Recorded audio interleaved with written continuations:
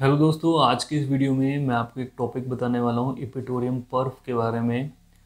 और शायद आपके पास भी ये मैसेज सर्कुलेट हो चुका हो, आपके पास भी ये मैसेज आ चुका हो, क्योंकि कुछ पेशेंट्स ने, लगभग तीन चार पेशेंट्स ने मुझे व्हाट्सअप कर दिया है और पूछा है, क्या वाकई में ये मेडिसिन डेंगू को ठीक करेगी या फिर नहीं करेगी? जैसा आप जानते हैं वायरल चीज़ें इतनी जल्दी होती हैं और जिनको नॉलेज नहीं होती है, वो एक से दूसरे को इतनी तेज़ी से वायरल करते हैं मैसेज को फैलाते हैं और उसकी वजह से कई लोगों को बहुत सारी समस्याएँ भी होती हैं और कुछ लोग ठीक भी होते हैं। जैसे आप जानते हैं, कोरोना के समय में एस्पिडो स्पर्मा के बारे में इतना ज़्यादा वो मैसेज फैला मतलब इवन न्यूज़ में भी ये वो सारी चीज़ें आनी शुरू हो गई थी। तो दोस्तों, यहाँ पे मेडिसिन की बात हो रही है, पेटोरियम पर्फ के बारे में 200 पावर में, वो भी जिसके आगे सी एच लगाओ। क्योंकि हाल फ़िलहाल में एक पेशेंट देखा मैंने, जो शीशी लाए थे फ़ोटो था उनके पास कि मुझे इपिटोरियम पर्फ चाहिए इसी कंपनी की चाहिए और पूरी स्पेलिंग वाली चाहिए और सी एच भी लगा हो। तो ऐसे लोगों को समझाना काफ़ी मुश्किल होता है। मैं बोला मेडिसिन नहीं है मेरे पास। तो दोस्तों एक मैसेज आया था मेरे पास अभी हाल फ़िलहाल में एक पेशेंट ने भेजा। इसको मैं थोड़ा पढ़ देता हूँ और मैं इसको आप लग, आपके लिए लगा देता हूँ जिससे आप भी पढ़ सकें इसको। डेंगू को 48 घंटे में समाप्त करने की क्षमता रखने वाली दवा कृपया इस संदेश को अधिक से अधिक लोगों तक भेजें महत्वपूर्ण सूचना। यदि किसी को डेंगू या साधारण बुखार के कारण प्लेटलेट्स कम हो गई हैं तो एक होम्योपैथिक दवा है, eupatorium perf 200 liquid dilution homeopathic medicine. इसकी तीन या चार बूंदें प्रत्येक दो दो घंटे में साधारण पानी में डालकर मात्र दो दिन पिलाएँ।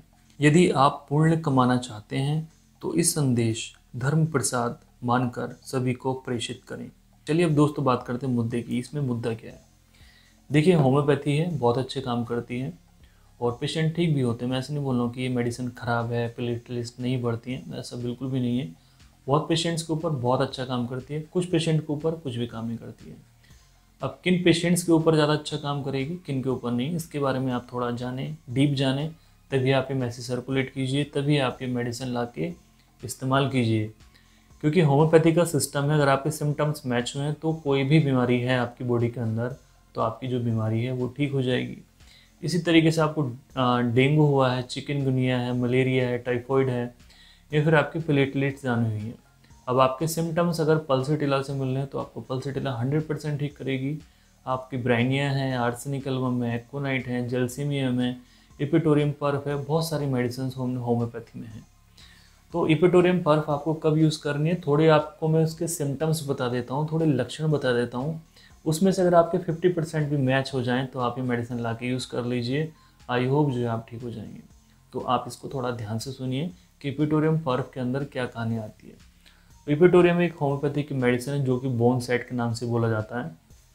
इसको इसलिए बोलते हैं क्योंकि इसके पेशेंट के अंदर हड्डियों में बहुत ज़्यादा दर्द होता है। हड्डियों में दर्द है, उसकी पूरी बॉडी में पेन है, बहुत ज़्यादा दर्द है। और ये सारी जो कंडीशन है, सारा जो दर्द है, उसको हेड टू फुट है। सर से लेके नीचे पैर तक उसको इतना ज़्यादा दर्द है। ऐसा क्यों होता है? कोई पेशेंट अगर उसको वायरल फीवर हुआ है या फिर चिकन गुनिया या डेंगू कोई भी फीवर हुआ है और उसको हाई ग्रेड टेम्परेचर है 103 पहुँचा 104 पहुँचा तो प्लेटलेट्स तो डाउन होती होती हैं बट उसके शरीर के अंदर बहुत ज़्यादा वो फीवर दर्द छोड़ जाता है। तो सर से लेके नीचे पैर तक उसकी सारी मांसपेशियाँ दर्द करती हैं, सारी हड्डियाँ दुखती हैं। तो पेशेंट के अंदर ये सिम्टम मिलता है। उसका जो बुखार है काफ़ी हाई ग्रेड फीवर आता है। इसके साथ पेशेंट को जो पेन होता है, वो थ्रॉबिंग वाली हेडेक होती है।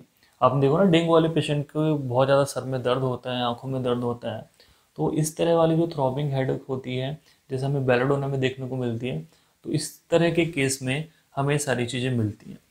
पेशेंट के अंदर और सिम्टम आते हैं कि पेशेंट को नोजिएट सेंसेशन रहती है, कि उसको उल्टी आएगी उल्टी आएगी, और कई बार जो बाइल की भी उल्टी आती है। बोलता है, जी, मुझे एक पीले रंग की उल्टी आई है। तो दोस्तों, बात करते हैं इसके अंदर और सिम्टम्स क्या मिलेंगे। तो पेशेंट को बहुत ज़्यादा चिल महसूस होती है सुबह के नंबर में। जब वो सुबह सुबह का समय होता है, सात बजे से लेकर नौ बजे तक पेशेंट को बहुत ज़्यादा ठंड लगती है, बहुत ज़्यादा हाई ग्रेड फीवर आता है। और पेशेंट के अंदर एक खास सिम्टम आता है पेशेंट को सारी चीज़ों में आराम मिल जाएगा अगर उसको एक बार खुल के पसीना आ जाए। उसको एक बार तेज़ी से पसीना आ जाए, खुल के प्रेस्परेशन उसको हो जाए तो सारी ही चीज़ों में आराम मिल जाएगा बट उसको सर दर्द में आराम नहीं मिलेगा। बोलता डॉक्टर साहब, मुझे कल तक तो इतना ज़्यादा दर्द था मेरे शरीर में बट मुझे पसीना आया, कोई भी मेडिसिन खा के या खुद से भी पसीना आया तो जो है मेरा दर्द ठीक हो गया। बट मेरे सर का दर्द नहीं जा रहा है, सर का दर्द एज इट इज़ बना हुआ है तो वहाँ पे ये मेडिसिन बहुत अच्छा काम करती है। बहुत सारे पेशेंट्स होते हैं, डेंगू वाले पेशेंट्स होते हैं कि डॉक्टर साहब, हम जो है बिल्कुल ठीक हैं, बस हमारा थोड़ा टेस्ट ख़राब है और हमारा सर दर्द नहीं जा रहा है, जबकि हमें खुल के भी पसीना आया था तो ये सिम्टम दोस्तों दर्शाता है इपिटोरियम पर्व का। ये सिम्टम आपके अंदर है तो आप इस मेडिसिन को ज़रूर ला के रखिए अपने पास।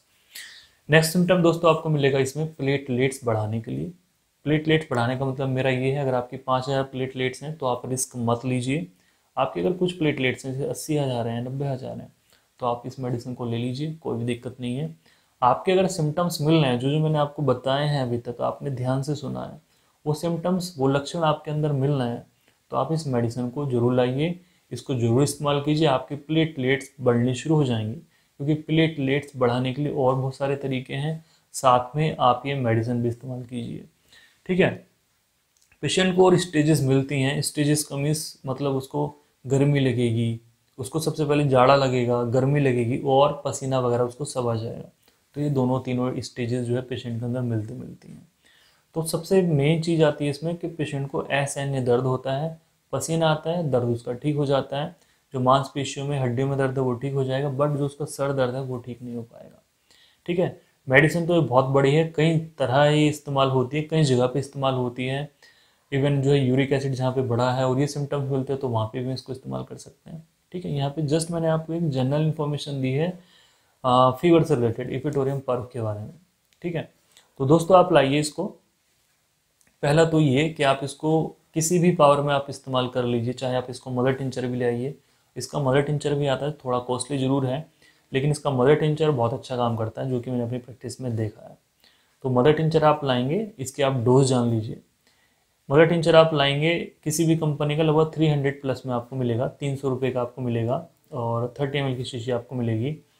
इसके आपने लगभग पंद्रह से बीस बूंदें दिन में तीन से चार बार पेशेंट को देनी है। ये सिम्टम्स मिल रहे हैं, उसकी रिपोर्ट्स में चाहे और कुछ भी आ रहा है, आप इसको दे दीजिए। चाहे वो डेंगू है चिकनगुनिया है मलेरिया है टाइफाइड है या इन्फ्लुंजा है, आप दे दीजिए इस मेडिसिन को। अगर सिम्टम्स उसके मैच हो रहे हैं तो।